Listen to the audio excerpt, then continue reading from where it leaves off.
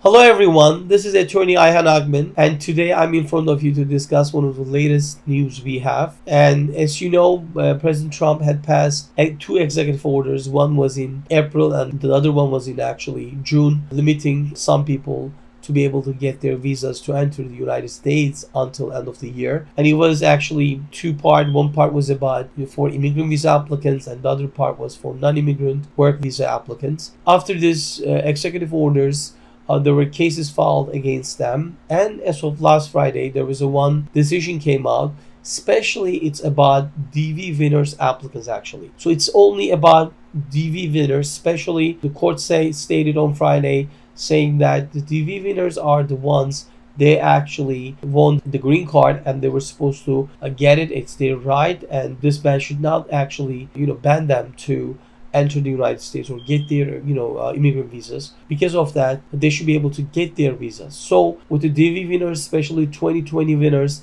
where they're facing actually very limited time, which is we are in actually September now. We're in beginning of September. And they have to get their actual immigrant visas until end of the September. If they don't get it, they will be losing their right. Because of that, the court came out with this ruling first and especially the ones actually related to DV winners and allowing them to get their immigrant visas as soon as possible. So it's a great news for DV winners for 2020 actually, but we're recommending them contact the US embassies as soon as possible and then let them know that you need to get the appointment before end of the month. So if you contact the you know US embassy that closer to you and start the process with them. They have to do everything possible for you guys to be able to get your visas before end of the month. So it's going to be tough race, especially the COVID-19 issues is still continuing, especially where the consulate is giving limited appointments to people. So it's going to be tough. But based on this uh, court decision, the embassy, the U.S. consulate have to do everything possible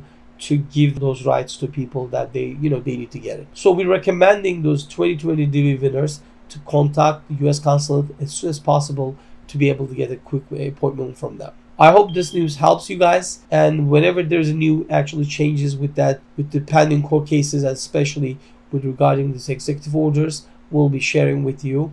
I hope it helps and have a good day.